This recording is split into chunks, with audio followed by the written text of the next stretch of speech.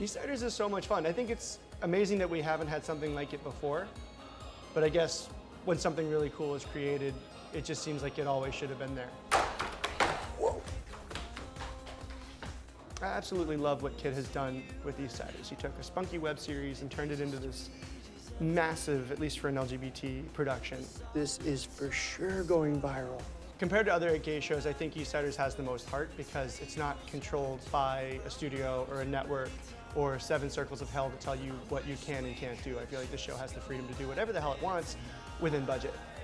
So it's really exciting to see that grow and like the, the size of the show grow with kind of the, the stories it wants to tell. Are you not filming? Filming what? Me! Sorry. Jesus Christ, you're lucky you're pretty. Yeah.